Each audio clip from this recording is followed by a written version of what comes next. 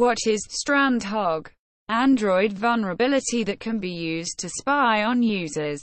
According to a report in The Hindu, Home Ministry warned states about Android vulnerability, StrandHogg, that allows malware applications to pose as genuine ones. It affects all versions of Android including Android 10. Norway-based firm Promon, that first reported the vulnerability, said, it allows cybercriminals to listen to the microphone, take photos using camera, read SMS and access photos. What are the new mobile number portability rules effective from today?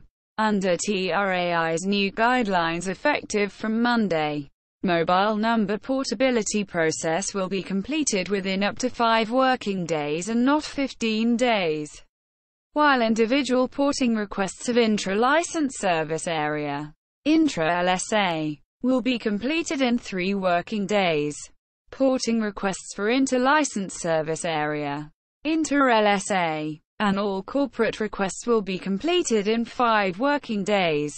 I have lost 33 pairs of Apple's AirPods. Using my 34th pair, BTS band member South Korean band BTS member Kim Namjoon, also known as Room, has said he has lost 33 pairs of Apple's wireless Bluetooth earbuds AirPods, adding that he is currently using his 34th pair. Namjoon said this after a fan shared story about losing AirPods during a Q&A chat.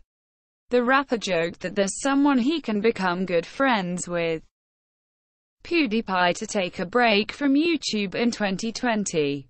Says he is tired YouTube creator Felix Kjellberg, known as PewDiePie, has announced that he will be taking a break from the platform early next year. The Swedish YouTuber said he is very tired.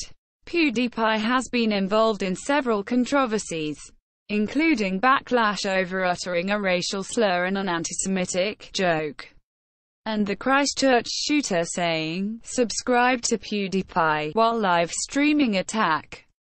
Malala an unparalleled champion for access to education. Tim Cook Apple CEO Tim Cook, sharing a photo with Nobel laureate Malala Yousafzai, said, Malala is an unparalleled champion for access to education a basic human right. Apple is proud to continue our partnership with the Malala Fund to help 130 million girls get a safe, quality education, he added. Malala had shared the 2014 Nobel Peace Prize with Kailash Satyarthi.